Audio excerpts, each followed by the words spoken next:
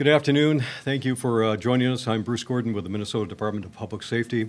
You're going to hear an update on this uh, case from two speakers today. Bemidji uh, Police Department uh, Chief uh, Mike Mastin, it's spelled M-A-S-T-I-N, Bemidji Police Chief Mike Mastin, and Special Agent in charge for the Bemidji Regional Office of the Bureau of Criminal Apprehension, Sue Burggraf, B-U-R-G-G-R-A-F. First of all, Chief Mastin. Well, thank you. Um, This is an opportunity to bring everyone up to speed. Um, On June 22nd, uh, at approximately 3:30 a.m., the Bemidji Police Department, and Bemidji Fire Department were dispatched to a report of a house fire in the 3900 block of Irvin Avenue. Upon arrival, they discovered the house was fully engulfed in flames.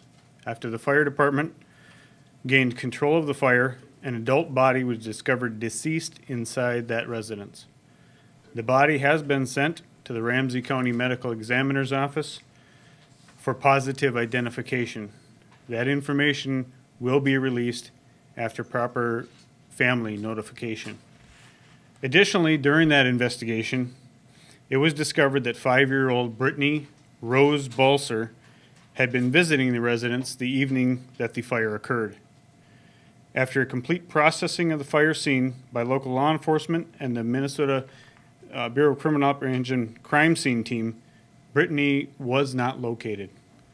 Numerous law enforcement agencies, including the Minnesota BCA, the Beltrami County Sheriff's Office, FBI, Bureau of Indian Affairs, the State Fire Marshal's Office, and Paul Bunyan Drug Task Force, uh, joined the Bemidji Police Department in our efforts to determine what happened in the early morning hours of June 22nd at this residence and to find Brittany Balcer. Yesterday, a search of the area, including a large wooded area and swampy area that surrounds this neighborhood, was conducted by more than 50 law enforcement officers and volunteers from the Bemidji Fire Department, uh, Beltrami County Posse, the Civil Air Patrol, Citizen Patrol, and Bemidji Police Reserves. This search was unsuccessful in locating Brittany Balcer. Officers also canvassed the neighborhood, uh, talking with residents who may have seen anything suspicious or may be able to provide information that was valuable to this case. In the late evening hours of June 22nd, Jacob William Kinn, age 32, was identified as a person of interest. Kinn voluntarily came to the Bemidji Police Department to speak with our detectives. After this conversation, Bemidji, or excuse me, BCA agents traveled to an area near Bigfork, Minnesota, and located Brittany Balcer. Jacob William Kinn has been arrested for kidnapping and is currently incarcerated in the Beltrami County Jail awaiting formal charges. Good afternoon. BCA agents arrived on scene yesterday when it became apparent that we had a homicide. Along with other law enforcement agencies, we began to a search of the nearby homes and conducted many interviews. While we can't provide specific details at this time, I can tell you that through the course of the investigation, agents, uh, investigators interviewed Jacob Kinn and obtained information about his whereabouts at the time of the kidnapping. Early this morning, two BCA agents were canvassing an area north of Bemidji where they believed Mr. Kinn had been. They discovered fresh tire tracks. They followed the tire tracks through a wooded area where they located a pop-up camper. Inside, they found Brittany. She has been taken to a medical facility for examination and treatment. At this point in the investigation, it appears as though the property where she was found is owned by a relative. And that's a relative of the suspect.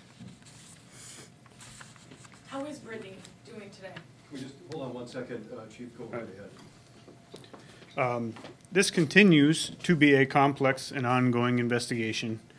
Uh, We're, now, we have shifted gears and we are looking at learning everything we can about this timeline, the motive, and whether anyone else was involved.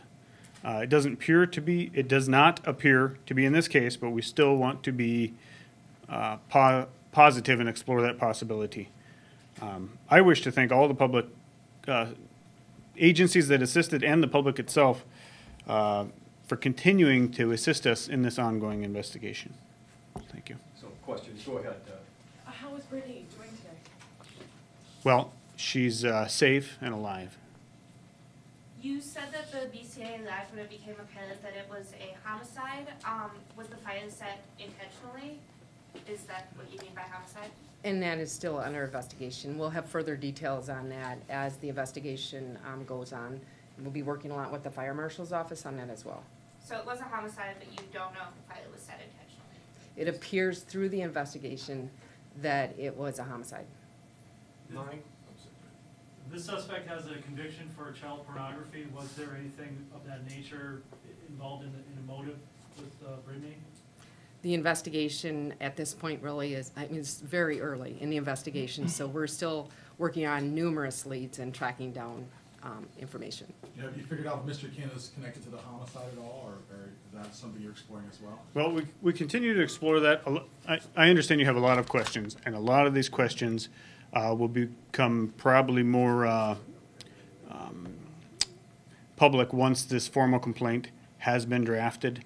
Now, that'll take some time because, it- like we said, there is a lot of investigation that continues to occur and needs to occur before we can establish uh, uh, all, all the facts of this case. Did he know the homicide victim?